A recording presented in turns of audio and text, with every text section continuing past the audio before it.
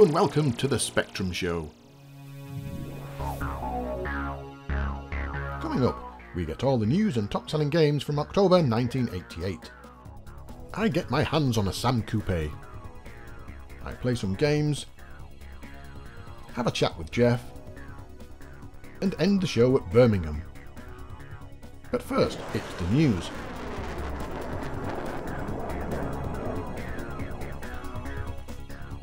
Rainbow Arts have hit problems with one of their new releases this month. The much heralded and previewed Spectrum game, Great Giana Sisters, has run into a spot of trouble. It seems Nintendo have stepped in, and in the words of David Baxter, are getting heavy. They claim the game is too similar to Mario Brothers, and have asked Rainbow Arts, the company releasing the game, to halt production and pull any titles that have already been distributed. Also in trouble is the game Katakis, also due to be released by Rainbow Arts. This time it's Activision sending the legal threats, as they claim the game is too similar to R-Type. Both games may never see the light of day. Mediagenic have secured the rights to produce conversions of five Sega arcade games to the Spectrum.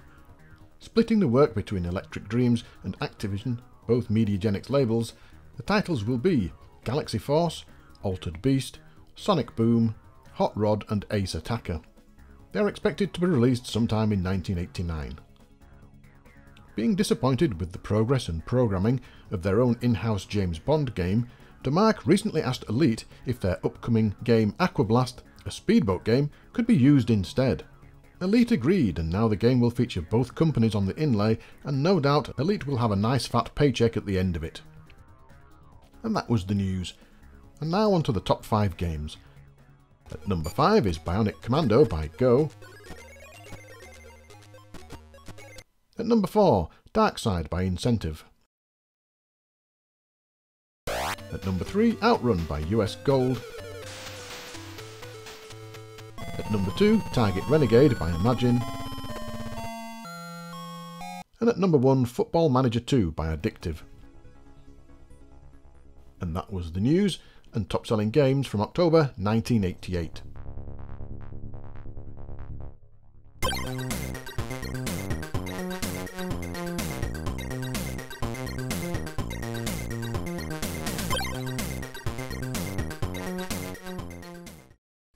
Began spreading around Christmas 1987 of a computer only known as a superclone. Not much was known about it, at least according to Crash magazine, and it was all being done in secret. Even the company designing it had not yet come forward and revealed their name, although a few months later and all would be revealed. In March 1988, more announcements. A new Spectrum was going to be released, but the biggest surprise was that it would not be Sinclair or Amstrad releasing it, and the name of the company was finally made public. Miles Gordon Technology, the company behind the Disciple and Plus D interfaces for the Spectrum, were said to be working on a Spectrum clone, with much more powerful hardware that could possibly rival the 16-bit machines. The name of this beast? The Sam Coupe. The details looked impressive. Higher resolution, more colours, more ports. Very nice. But the biggest question was would it run Spectrum software? The manufacturers claimed it would, and Crash magazine tested this on a prototype with good results. Time moved on, and news was slowly trickling through. In April 1988, Your Sinclair added to the rumour with an article in their news page. And finally, in February 1989, we got the fuller story thanks to Crash magazine, who interviewed the company and gave us photographs of this new computer. This was to be the next step up for Spectrum owners. The Plus 2 and Plus 3 gave us better keyboards and even a floppy disk, but we were now lagging behind the 16-bit machines and consoles. This new computer would improve screen resolution, give us better text modes, more colours, and remove colour clash in some instances. It would give us better sound and better input and better expandability.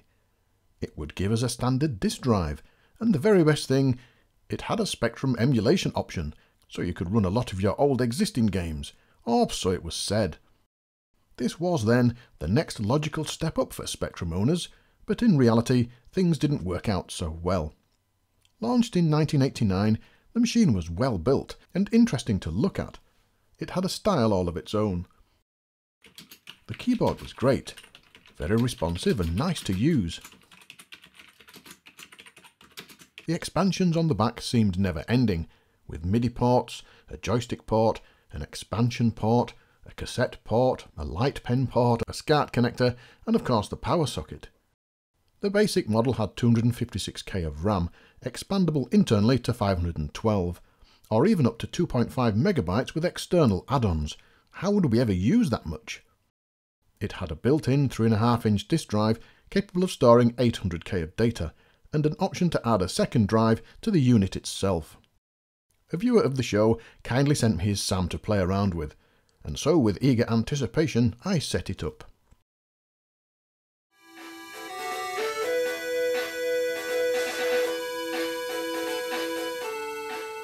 One of the demos that came with it introduced the machine to new users, and it had some pretty impressive stuff included. The display is capable of showing 128 colours and offering no colour clash, a huge step up. The sound was also a step up, offering 6 channels over 8 octaves. The SAM had a disappointingly small number of commercial games released for it, and only a small number of those worth a mention. Here's Manic Miner. Yes, that old favourite got a SAM port.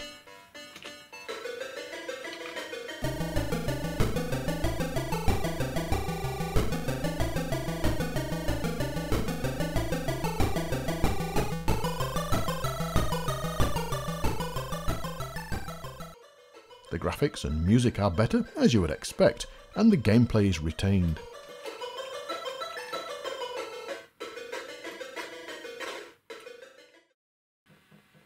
This is Defenders of the Earth. Again, a lot of colours on screen. Nice effects, but bloody terrible to play.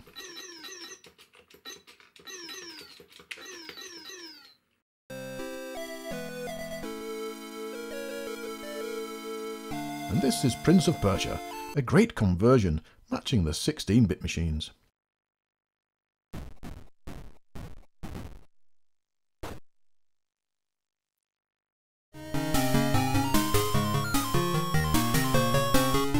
And Lemmings, yes, Lemmings was also written for it, and an excellent version it is too.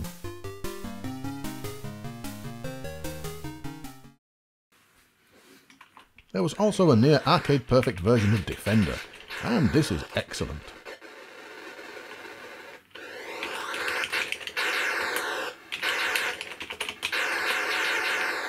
The SAM had several disc magazines supporting it too, Mag 1 for example, and the long-lived Fred. These showcased the machine and also included news, reviews, coding examples, demos and reports.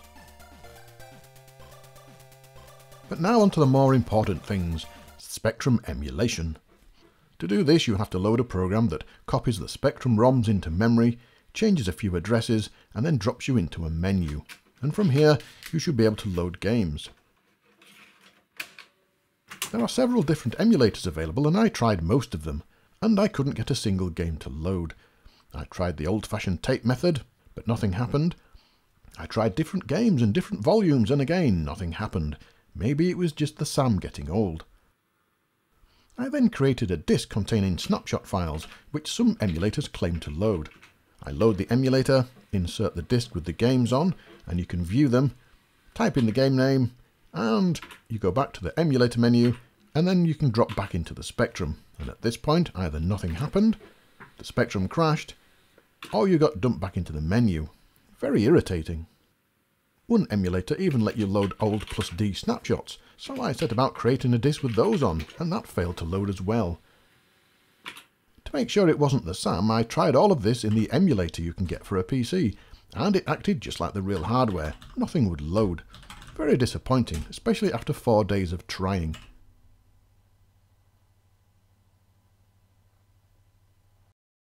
I then had a brainwave. I swapped out the mono tape lead and put in a stereo one, and voila, the very first Spectrum game loaded.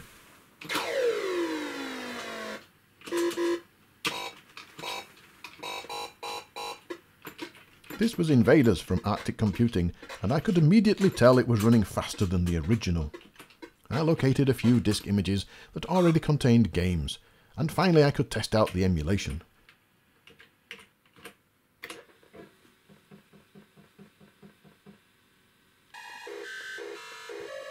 And yes, the games run faster than a real Spectrum, and this is evident in both sound and graphics. In most cases, the slight speed increase would not matter, but I can see it causing issues with fast-paced games where timing is important. At least it works though, and for anyone upgrading, you could load most of your old games. I say most because some games with custom loaders refuse to work. Miles Gordon Technology did release a device to improve emulation and loading called the Messenger, but I think by this time it was too late. After many hours of trial and error, the reason for the confusion was not to do with the software or functionality of the SAM, but rather something missing. Many of the emulators needed the game to be loaded via tape initially, and then to save them to disk, you had to get back to the emulator's main menu, to do this, you press the break button. However, I kept pressing the reset button because that's all I could see on the back. I then noticed a small hole, and a quick trundle through the manual identifies this as where the break button should be. Closer inspection shows that it has snapped off. Without this, it would be impossible to convert Spectrum games over to the SAM, which is where all the confusion came in. Even though I now understand the process, it still would be very time consuming, but back in those days, that was the only option.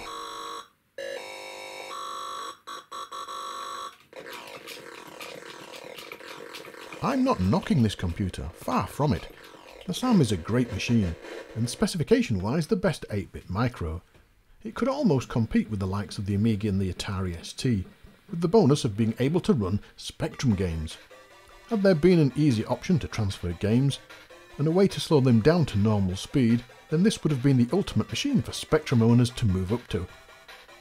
It provided all your games with new hardware, a great keyboard, excellent graphics and sound, and the potential to run some excellent new titles using this impressive machine. Sadly, only a few games pushed it though, with the likes of Prince of Persia and Lemmings topping that list. Like any new machine, it will rise or fall based on the content produced for it, and the SAM seemed to have limited support in that area. I have only covered a small part of the SAM Coupe here, because I was interested mainly in the emulation aspect and the move over for existing Spectrum owners. There are still games being written for this machine, so it's far from dead. An interesting part of Spectrum history then, and a nice item to finally get my hands on.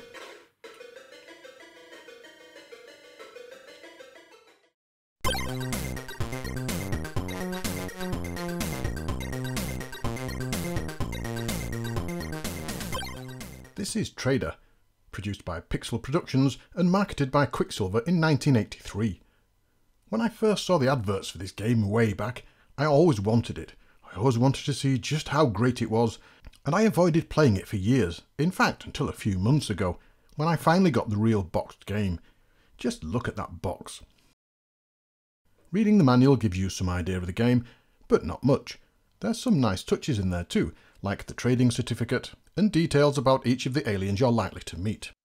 You are a trader, obviously, and the game follows a linear plot, almost on rails, with you interacting a few times.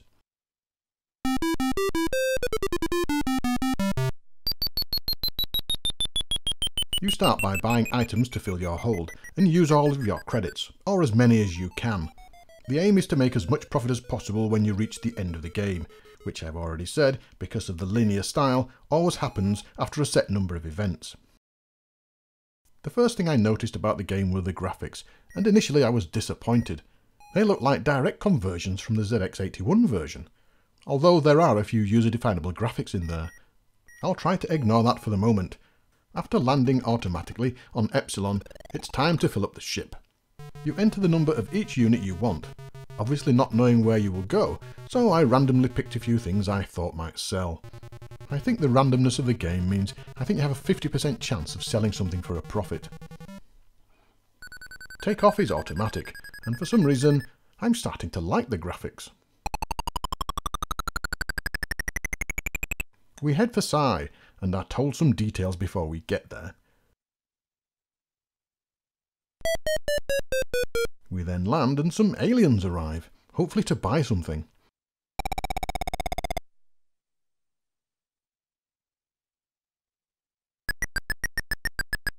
This blob thing feeds off brainwaves, So, before I can get any further, it starts asking me questions. This is a bit odd.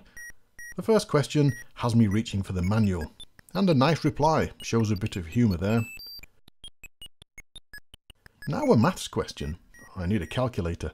It's a good job I can pause the game.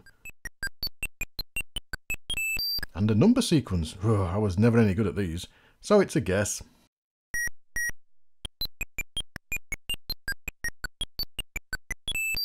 And now for a chemical formula.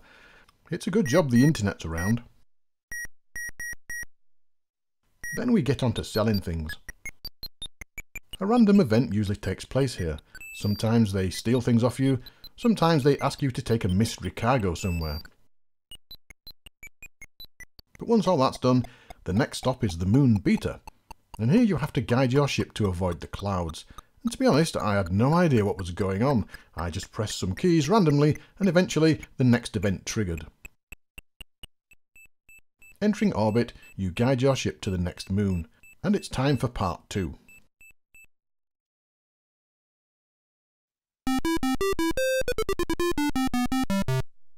We get a rundown of Beta, and then an automatic landing sequence, and then into the bar to do some trading.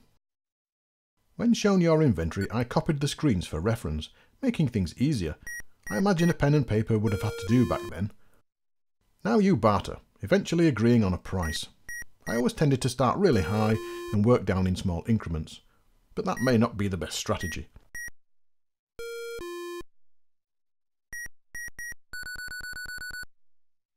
At this point, someone steals some fuel from you. Nice. Another auto takeoff sequence, and it's on to the next event. Alpha. And it seems they want Petrochem. Here you have to interact and guide your ship into the tunnel using up and down. There's no haggling here either, they're all robots, so just decide if you want to sell or not. At this point you should really remember what you paid for things, although I'd forgotten at this point, oh well. Next event and Gamma, and another interactive sequence.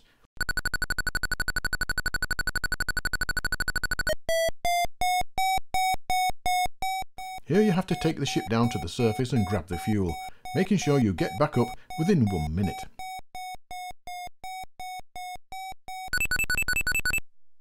Sometimes random events happen too. Ah, a ship appears to have appeared next to mine. Oh no, it's the Space Rozzers. Luckily all my booster spice was stolen by the wibbly blobbly men early on, so no problems here then.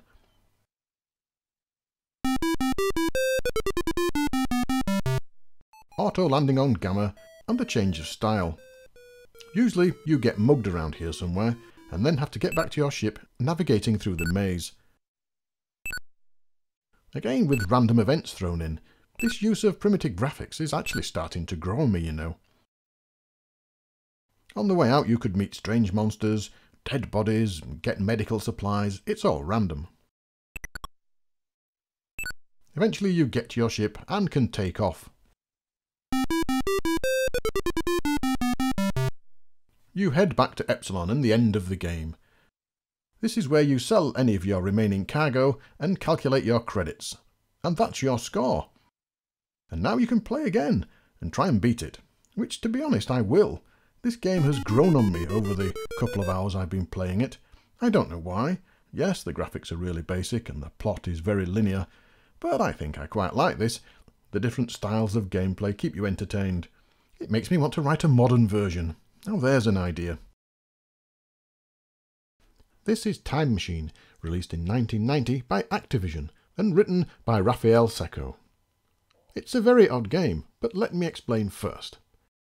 It's an arcade adventure. You control Professor Potts, who is messing about with his time machine when a terrorist attack sends him back to the prehistoric age and breaks the machine. Your only hope is to manipulate history to try and get back and stop the attack. There are five zones, each with objects that may be needed across all zones, but only the first, the prehistoric, is open to start with.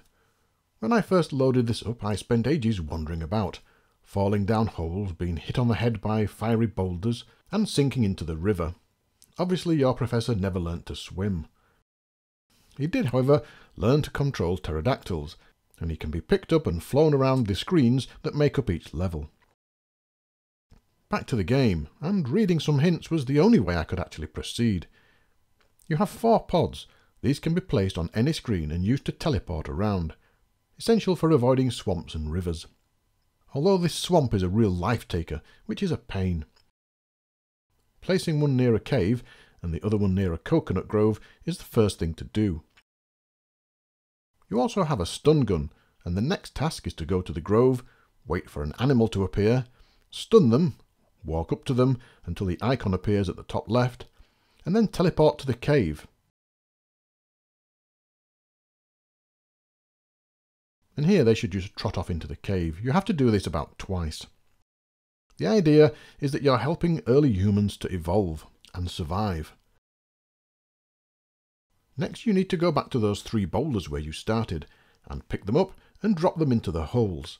This is tricky, one wrong move and you fall down and die. Getting the boulders just in the right place takes time, and the only way to tell if you've got them right is to wait for them to bob up and down. This though can take several seconds, and in some cases up to 10. These holes are actually geysers, and you're trying to block them. Once all three are blocked, the next level opens up. You can tell this by the level indication top centre of the screen, which turns green for the next level up. At this point, I have very mixed feelings about the game. If you had a lot of time and patience, and have the stamina to try every possible thing on every possible screen, you'll probably enjoy this sort of thing. The graphics are great, but controlling Professor Potts can be problematic. There's no sound either, which is odd, as the reviews mention music and spot effects. I downloaded several versions from several sites, and all of them were silent. I then loaded my original, and still no sound. The next stage involves keeping your little creatures safe, and the first thing you need to do is get them warm. To do this you have to collect wood from this level and fire from Zone 1, and so it goes on. At this point I was crossing a swamp, and for some reason was flipped back to Zone 1, and Zone 2 had been disabled, and I've no idea why. You collect things, put them in places, collect other things, teleport to them, and hopefully, if all goes well, things will progress. This is a good looking game with logical puzzles, but they do take a long time to complete. You could of course use a walkthrough, but even that is tricky because of the unavoidable deaths and slightly odd controls. If this looks like the challenge you'd enjoy, give it a try. Me though, I'll be putting it back on the shelf.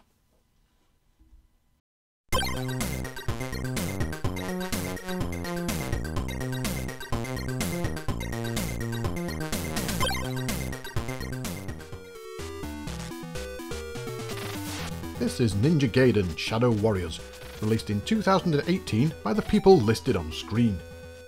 The Ninja Gaiden series has seen many versions across many platforms, but this one is a remake of the Game Boy version on the Spectrum.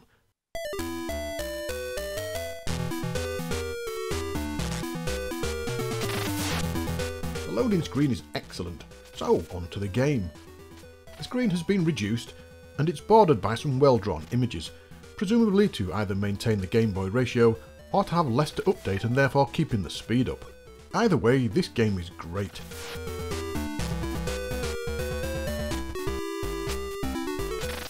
The graphics are well drawn and move really well.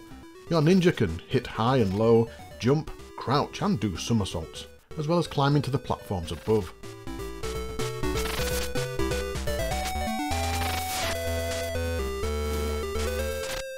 There's music that plays throughout, along with sound effects, and this really makes the game feel special. I'm not a big fan of beat 'em ups to be honest, but I do like this one. The difficulty is spot on, allowing you to get far, and it keeps dragging you back for more.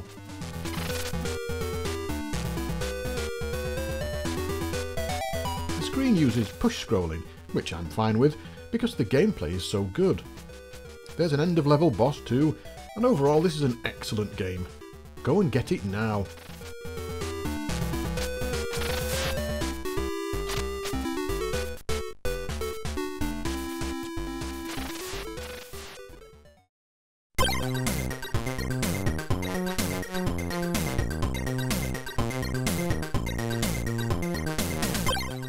Around in the early life of the Spectrum will have seen this advert.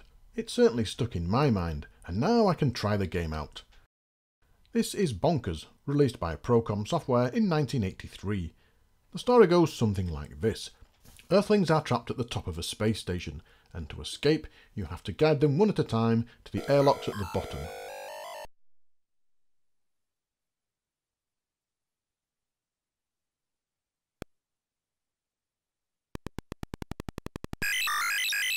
Obviously this is not as simple as it sounds, and there are evil aliens that get in the way. Each Earthling starts at the top of the screen and walks into start position, which is a nice touch.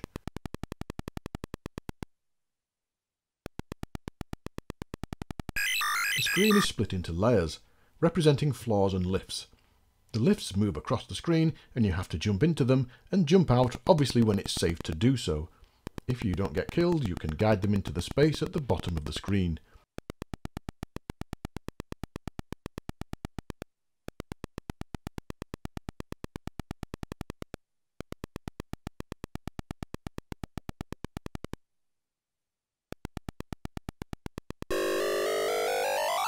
This game is a kind of reverse jumping jack crossed with Frogger, and plays really well.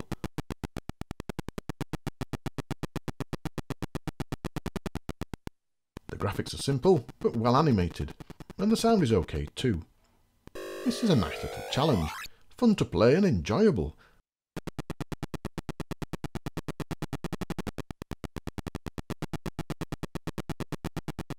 Yes, it's simple, but it is only just 6k in size, a great little game then, that's worth a try.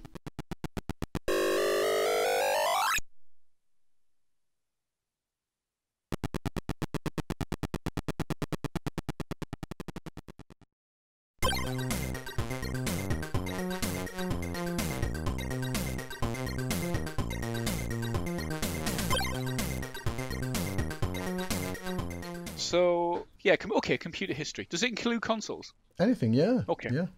Well, if, well, if we're including, including consoles, then it's going to have to be a Binatone, isn't it? One of those Binatone TV games that I started with that, that just had 17 versions of Pong on it. Me too. I had exactly the same thing with an analog. Mine had an analog joystick. I think mine had just a, a little um, dial that you turned left or right. Mine had an analog joystick and only about four or five games on. It had it, had, it had the usual versions of Pong, Pong, and tennis and football, which were just and hockey. in hockey, yeah, which were just different, kind of slightly different configurations and numbers of bats, weren't they? and unfortunately, it doesn't work anymore because I took it to Brits to try and find out how it worked. ah, nice. well, I think that that got about three months worth of play, and then um, nothing for a couple of years until um, the ZX81 came out. You had a ZX81. Yeah, yeah. I grabbed, didn't. grabbed that. And then after that, I got a Spectrum. Mine, mine was the Spectrum. What, your first computer Yeah. was a Spectrum? Yeah, it was the Spectrum. I didn't know I was getting it. it. I just got it for Christmas, and it was the best thing I've ever had. After that, well, I had a break from Spectrums and I got a Commodore 64 and had it for about three months, two months, three months. It was mainly about the music. I was in a software shop looking to buy Spectrum games. Yeah. And they had Ghostbusters on the 64 and the music was stunning to me at that having owned a spectrum so i persuaded my parents to buy me a 64 and then i went out and bought as many rob hubbard games as i could find So after my Spectrum, there was nothing. It was a big hiatus for me. There was nothing. Mm. Probably because I went to university and I couldn't afford a, a computer. Because Yeah. it was a big step up to things like the Amiga and the ST. it was a massive step because of the price they were about 500 amiga was 499 i think Mm. The when the, when they first came out the amiga 500s and i i badgered and badgered my father to buy me one and he, he kept saying no, no and then eventually we sort of went out and bought one that was that's the second best machine I've ever owned. The Amiga. It's obviously, the Spectrum's first, but the Amiga is a close second. The, and then I got a job in a, in a computer shop selling um, Amigas, so I had access to all the games. Cool. Well, I, I was kind of twofold. The next the next thing I got w- that was dedicated to games really was a Nintendo 64. So it was a big Oh, jump. yeah, that was a huge jump from the Spectrum, obviously. But I really got into PC games. I was late. Well, I wasn't late into PC games. I, I went through numerous versions of Amigas. I had the 500, I had a 500 plus, 600, 1500, 2000, and then a 4000. And then the guy that owned the computer shop, I think, said, um, "What do you want for a Christmas bonus? Do you want 100 quid, or do you want uh, an Amstrad 286 PC with a monitor?" And I said, "I'll have that. I'll, I'll take that computer." And that sort of kick-started an, another phase of my life really. So I'd gone through Spectrums, I'd gone through um, Amigas, and at that point the Amiga market was was dropping off. Yeah. And the you know the, the the general feel was things were going over to the PC. So I started on the PC with the 286 and Yeah. then went just, just carried on. Well, I think the first PC I had was a Pentium, so it was a lot later than you. yeah, right. and I was playing things like Doom. Um, Yeah. Doom was great. We used to in the in the lab that I worked with in when I was doing my um, PhD. We used to play network Doom. Um, Right. un until the network administrator complained that we were flooding the network with lots of Doom packets. Yes. Um, yeah. Well, you've jumped way ahead of me then because when I, when I I was really lucky because I worked in a computer shop. So if we got anything back or if we got anything that was damaged and I, and it was half working or part working, I, I had free reign to you know bodge it up and get parts from somewhere else. So I, I had two eight six, then I went a three eight six. Then a 486, and then various 486s, and then the then the early, early Pentiums. So I just worked my way up slowly as, as they as things came into the shop and the prices came down, I, I was buying them at retail, so I could get them at retail. So it was, it, I was very Oh, lucky cool, in that, yeah, in that yeah. respect. But the Nintendo 64 was interesting because it kind of links back to the Spectrum because, of course, Rare was a huge, big developer for it, and there were Yeah, yeah. So I bought it because of GoldenEye. I bought it for because I saw GoldenEye. I wanted to play it. Then one after that, I think I think the next thing, and probably one of the things that I think is truly retro, was uh, Game Boy Advance. I got a Game Boy Advance, and that was brilliant, especially the SP. Uh, handheld wise, I I was really wanted to buy Lynx because we had a couple in the shops Hmm. and they they were really really good machines. But I, I ended up buying a, a Game Gear, uh, and again it, that was very short lived. I think I had it for about four months and then I sold it on. And actually, it was it was kind of around the Game Boy Advance time that you you start getting things like the GP2X and the GP32 that you could you could actually emulate on a handheld some of the some of the old stuff, Spectrum things. I think that, and yeah, I think what did I? I had a- I had a PlayStation 2 after that, but we're getting a, we're getting a bit too modern now, aren't we? So Yeah, yeah. I, I had got the original Xbox way way after its lifetime just so I could put all the emula- emulators on it. yeah, got I've got an Xbox One, so I've got the Ultimate Rare Rare Replay with all the Ultimate games on. So all back full circle, though. The Spectrum Next is going to be my next computer. Right. Okay. Well, it, hopefully it be it will be has been is my next computer. Yeah, and the same with me, whatever you said. I think that ends the section, Paul. That, that ends it. That's the one.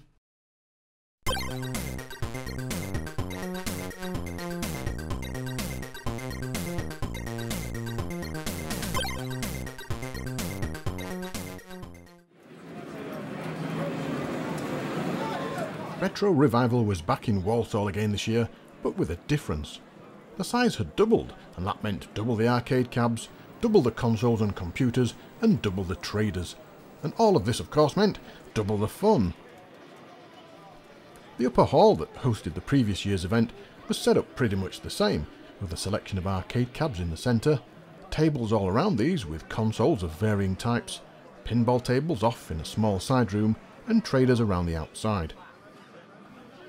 The lower hall was the 80s room, packed with arcade cabs, computers and consoles, as well as a selection of indie titles.